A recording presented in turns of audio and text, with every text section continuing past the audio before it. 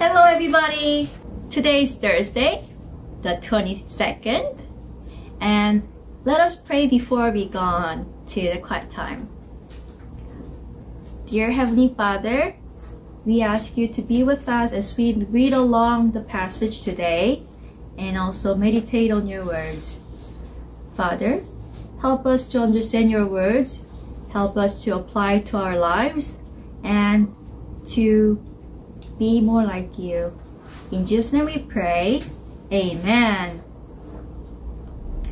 Today's passage is Jeremiah chapter 50, verse 21st to 32. Let us read together. Enemies of Babylon attack their land. Destroy them completely, announces the Lord. The noise of battle is heard in the land. It is the noise of the great city being destroyed. How empty Babylon is among the nations. Babylon, I set a trap for you, and you were caught before you knew it. That is because you opposed me. I have brought out the weapons I use when I am angry. Do not leave anyone alive there. How terrible it will be for them. Their time to be judged has come. Listen to those who have returned from Babylon. They are announcing in Zion how I have paid Babylon back for destroying my temple. Send for men armed with bows and arrows against Babylon.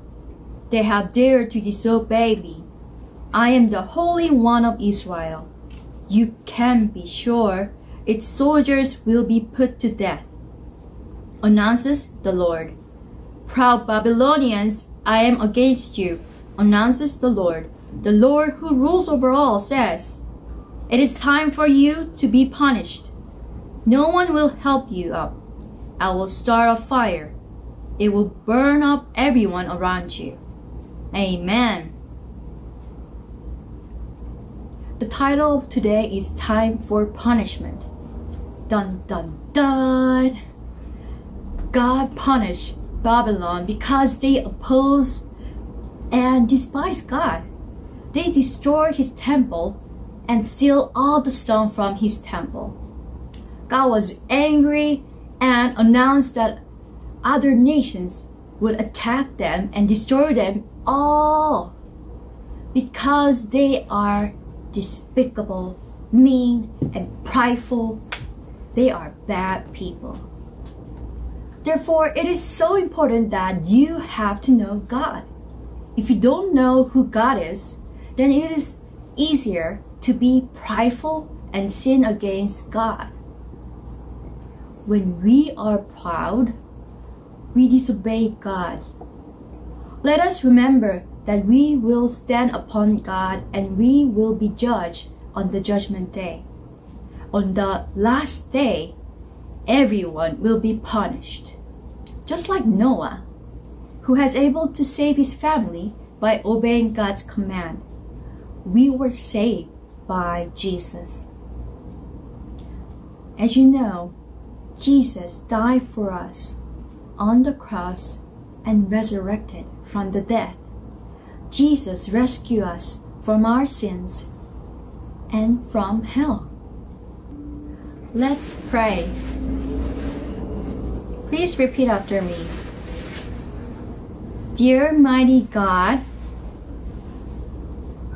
we humbly come before you.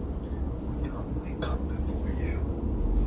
Lord, Lord, I accept you I accept you as my Savior. as my Savior. Dear Jesus, Dear Jesus, please come into my life. please come into my life. Please dwell in me. Please dwell in me. Change me into your image. Dear Holy Spirit, please come to my life. Renew my heart. I want to be more like you. I want to you. You. I want to follow you. Thank you, Jesus, for forgiving my sins. thank you for giving me you for me. freedom Freedom and everlasting life. everlasting life. I believe in you. Believe In Jesus' name, in Jesus' name. I pray. Pray. Amen. Amen. Wow, great job. You have just accepted Jesus as your Lord and Savior. God bless you. See you next time.